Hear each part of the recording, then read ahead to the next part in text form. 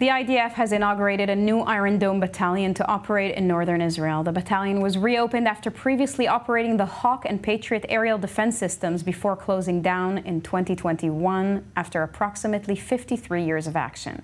Take a listen to the remarks of the commanding officer of the Israeli Air Force, Tomer Bar. For over seven months, the soldiers of the Aerial Defense Array have been engaged in a multi front defensive war that is unprecedented in scope. Israel is one of just a few countries in the world that possesses such sophisticated and expansive air defense systems, operated by such high quality people. Alongside the strong defense, we are operating offensively, denying Hezbollah its capabilities, shoulder to shoulder with the Northern Command. Together, we will know how to expand and intensify the offensive if required.